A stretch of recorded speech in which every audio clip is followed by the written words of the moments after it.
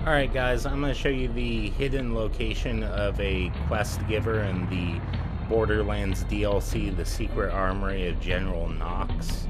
Uh, where you're going to go is this little cabin over here.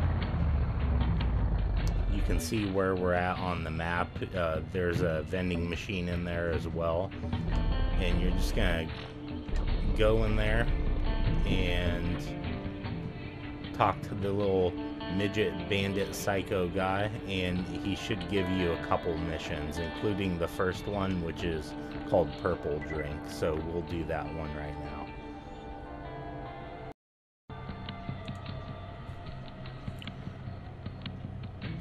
Alright guys, we're at the first pump right here, so let me just show you where it's at on the map.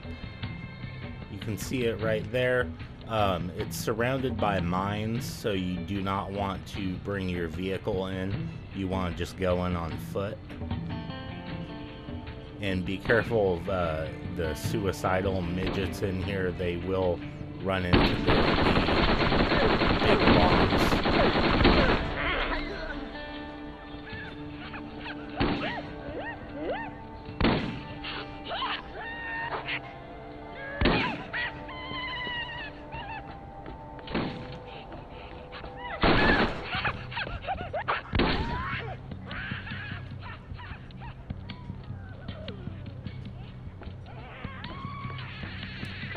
And here's going to be the first pump.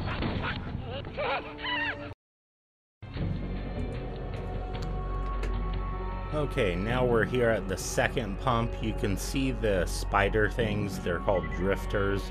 They're behind me, and you have to be very careful about them here because they will sneak up on you sometimes.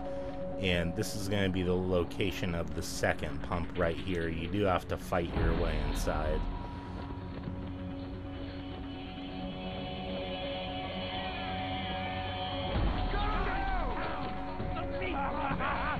Time to play! Time to play! You can see the second pump is right here.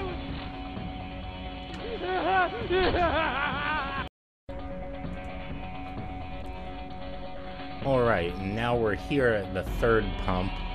This one is just sitting right here in the open.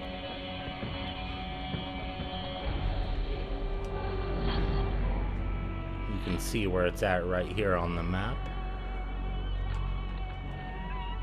And you do have to be careful about this ambush of midgets, but there's only two of two or three of them.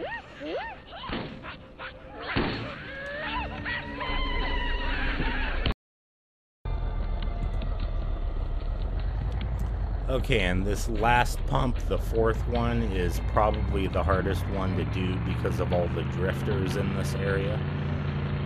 So you have to be very careful.